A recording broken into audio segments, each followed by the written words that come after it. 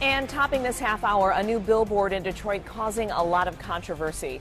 You can see the sign. Let's go live to 7 Action News reporter Camille Amiri with more on this story. Camille. Well, Carolyn, that is the million dollar question. What exactly does the statement on this billboard mean? And it really is up for interpretation because we don't have a definitive answer from the organization who put the billboard up.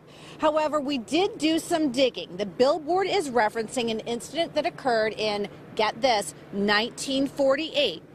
Now, I did reach out to the organization who had this billboard put up uh, when and if they do call me back and get a more definitive answer on what exactly this billboard means. For now, we're reporting live. Camille Amiri, 7 Action News. All right. Thank you much, Camille.